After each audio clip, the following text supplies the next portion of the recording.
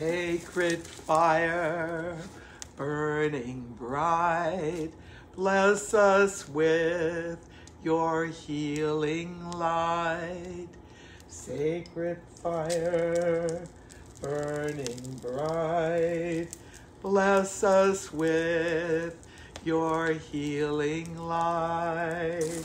Sacred fire, burning bright, bless us with your healing light.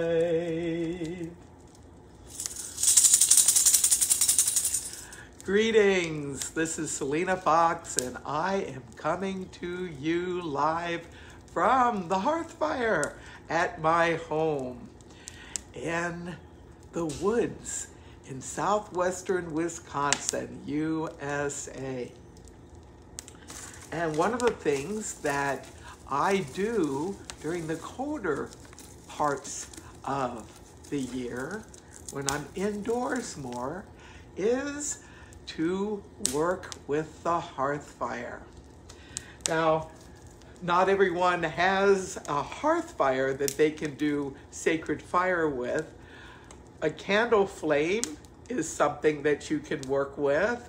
Or if you're at a place where you can't burn things at all, you can use a battery operated tea light as a way of connecting with sacred fire. And of course, there's the sun, which is also a form of sacred fire.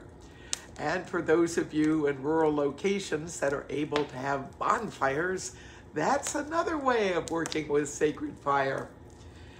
I collect um, twigs out in the forest. I gather the stalks of herbs that I've harvested and dried and keep the leaves for my work with herbal teas and um, other herbal preparations. And what do you do with the stalks? Well, I have baskets where I put things from the herb harvest that could go into a fire. I'll, I'll store them.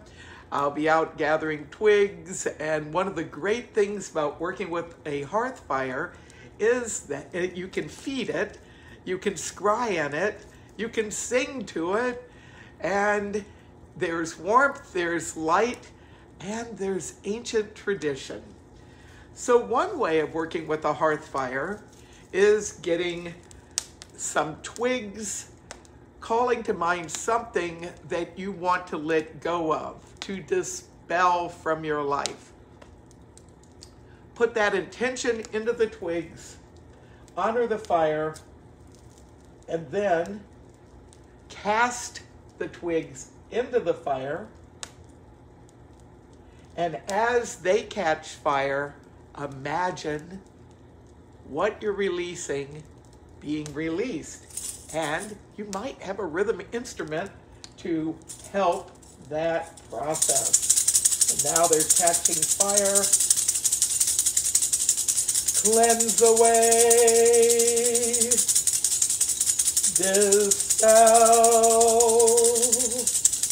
cleanse away, dispel, cleanse away, dispel. And as you watch the fire, and I cast a few more herbal twigs into the fire, if there is something that you wish to release from your life, I invite you to call that to mind. Burn away, cleanse away, burn away, cleanse away, burn away, cleanse away, burn away, cleanse away. And imagine it being dispelled, burned away energetically from yourself, your life.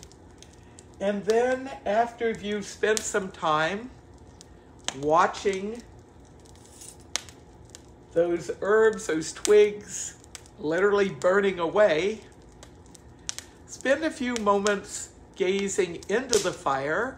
And I invite you to scry into the fire for a few moments as I shake my sistrum and pay attention to what guidance comes to you about something very specific you can do to help manifest what you wish to release from your life. What can you do to help bring about that release from yourself, from your life?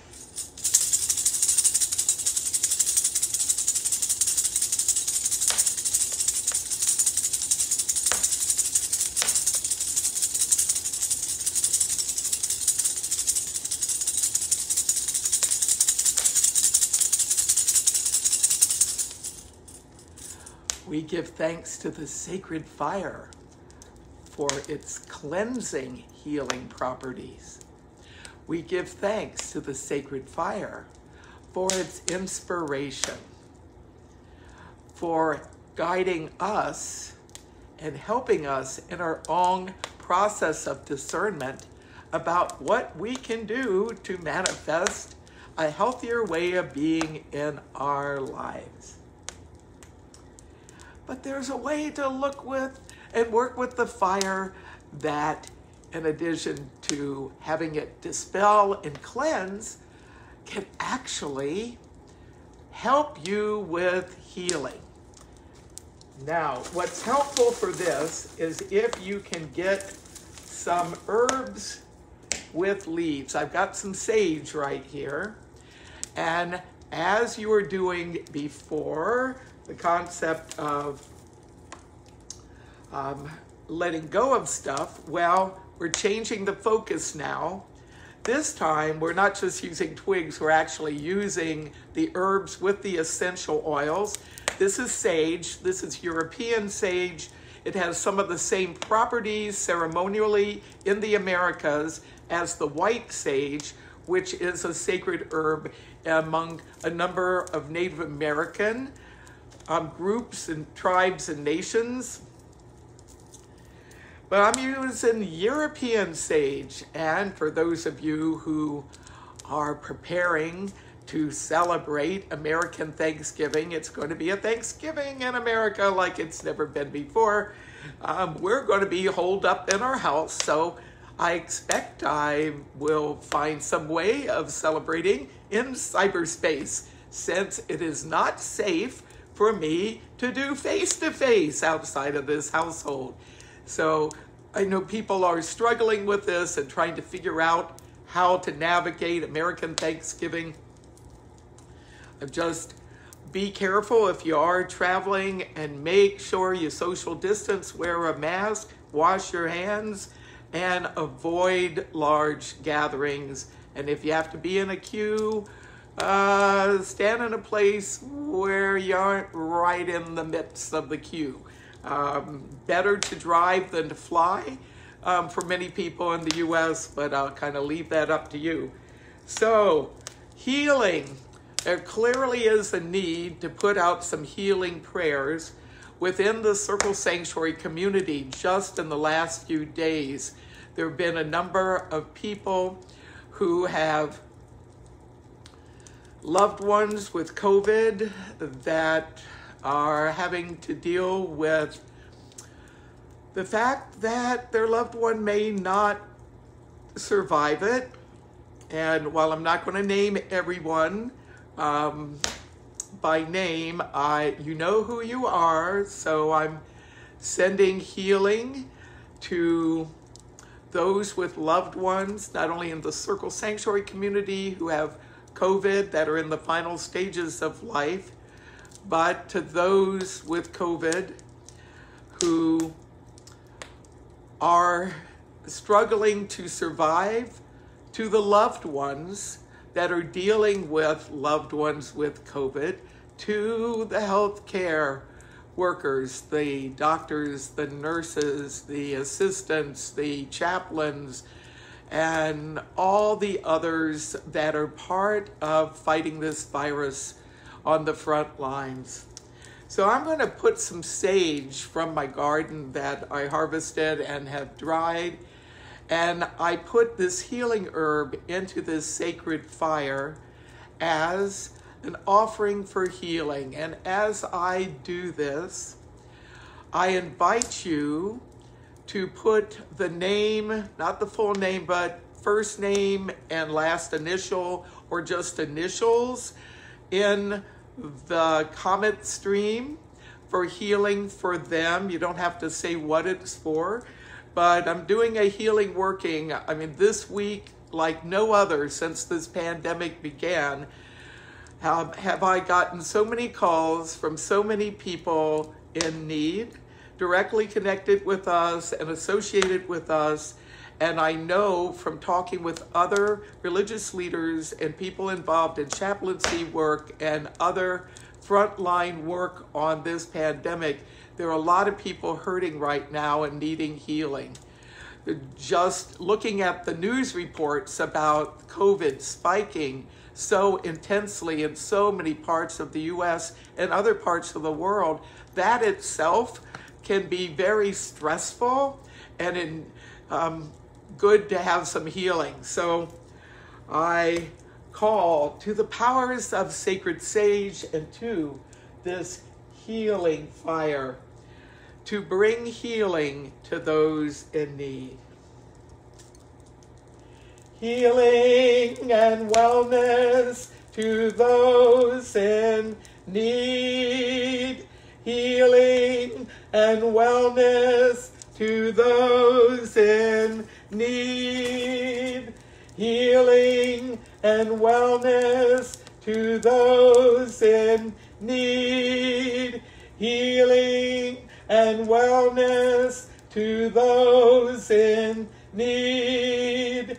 Healing and wellness to those in need. Healing and wellness to those in need. Healing and wellness to those in need. Healing and wellness to those in need. Healing to those in need. Healing to all those initials, names, those put into this feed now and when this is viewed later. Be well, be well, be well, be well, be well. So be it. So mote it be. Blessed be. Aho, Amen, Ashe. Salam, Shalom, Namaste. Right, Bridget, blessings. Thank you all for tuning in to this healing hearth fire. I'm trying this live stream at yet another place in my home. And I it does appear that it's working. I'm seeing hearts and likes and comments, and I'll have a chance to look at all the comments as um, right after we're done with this, I will go to my main computer where I can see the comments better. And, and if you have those in need for healing, you can continue to put them into the fire because what I'm going to do now is add some more to the fire.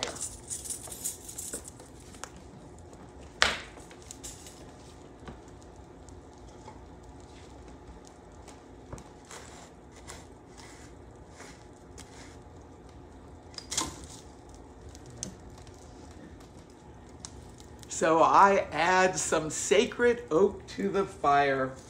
And oak is a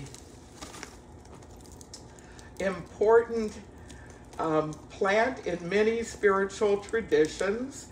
And I live in an oak forest. So therefore, I have the opportunity um, to have a ready supply, courtesy of Mother Nature, um, as the um, oak old branches fall off and trees die, um, we do some harvesting here of the oak and we add it to our wood supply and we supplement our heat with hearth fire heating. And sometimes we've had to completely um, use this hearth fire to heat our entire home.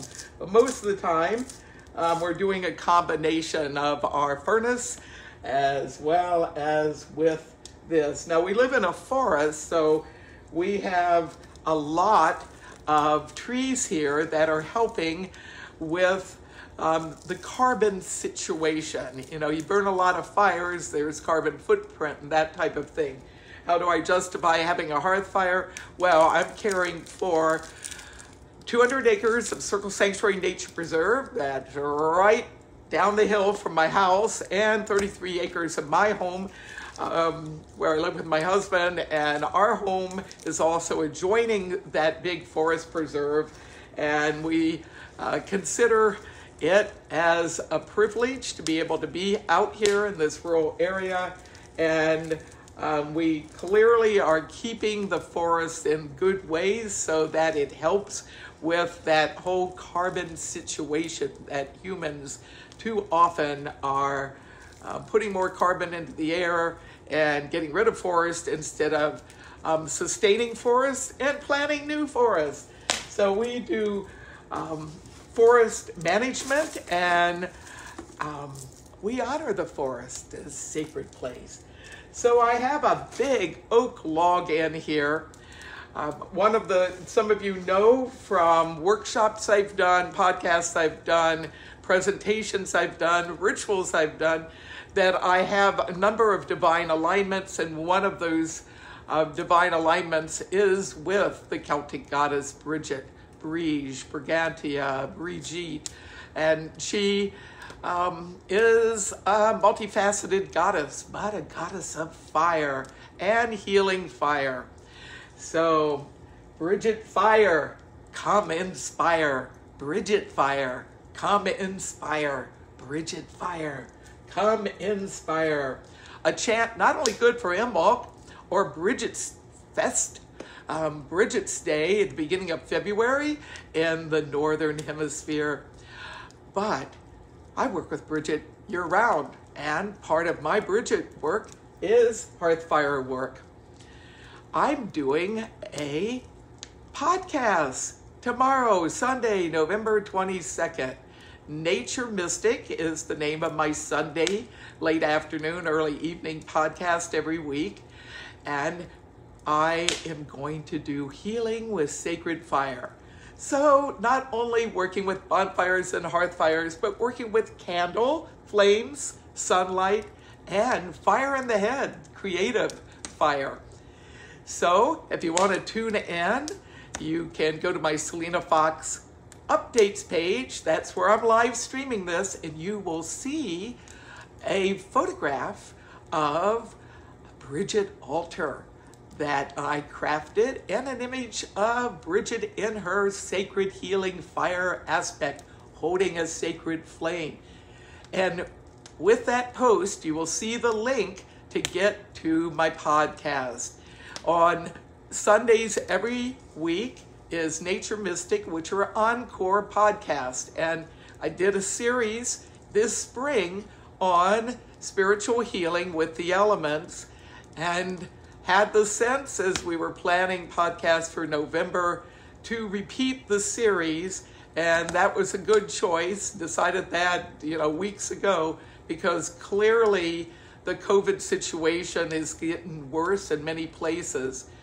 In addition to taking good measures to keep ourselves and our loved ones safe and to stop the spread, it is a good time to find ways to work for healing ourselves and others.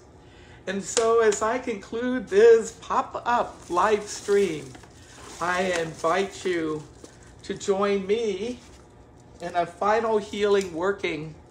And this is to send healing to humankind as a whole, to planet Earth as a whole, and to that larger circle of nature of which we are all part. Be well, be well, be well, be well, be well.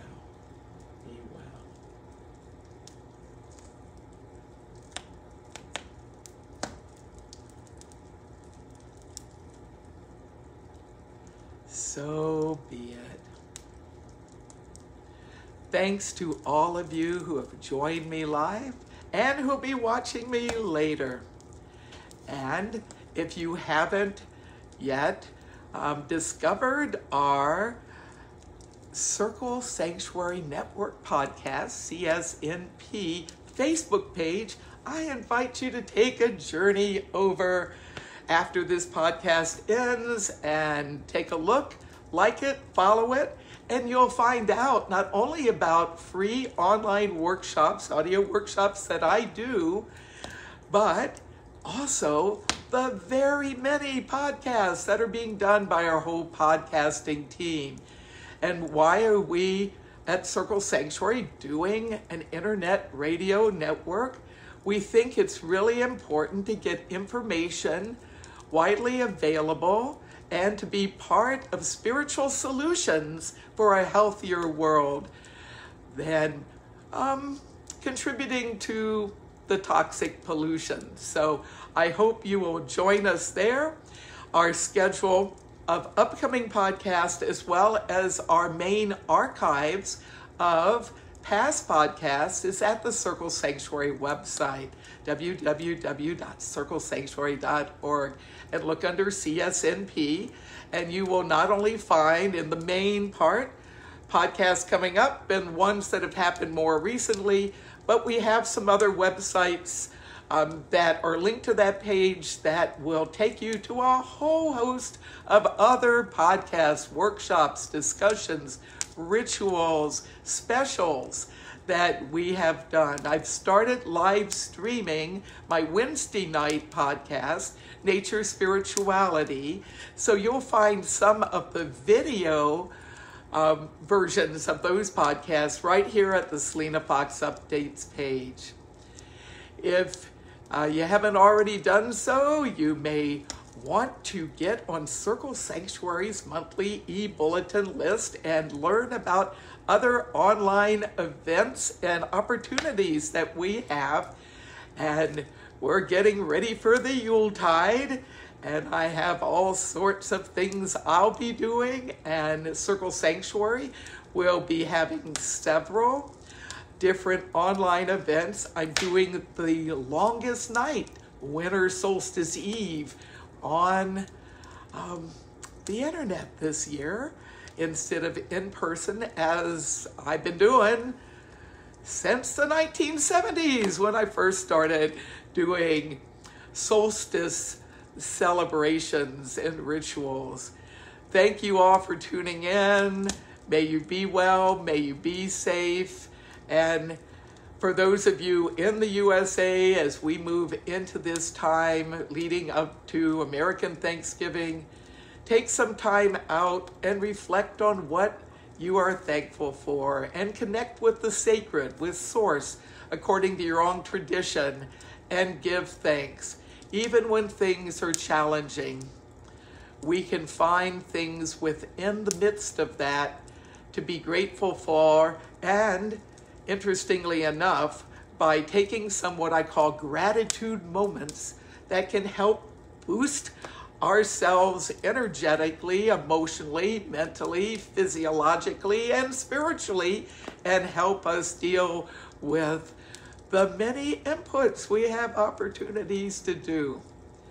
Thank you all for tuning in, and may you have a blessed day or night, depending on where you are. Thanks for being part of this and thanks to the sacred fire, may your healing continue to be in us and with us and with those who we have sent healing blessings to today and in times to come. So be it.